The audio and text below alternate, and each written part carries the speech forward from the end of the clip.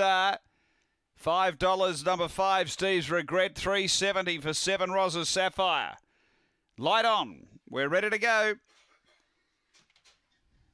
Set. Racing.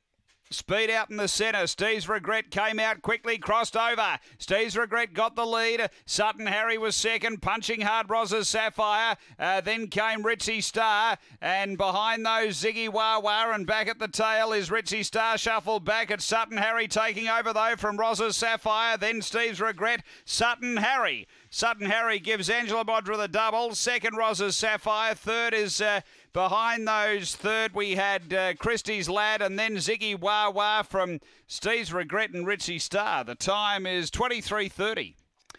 After the running of uh, race number 10, numbers are 1, 7, 8 and uh, 4 is uh, fourth home. Numbers are 1, 7, 8, 4.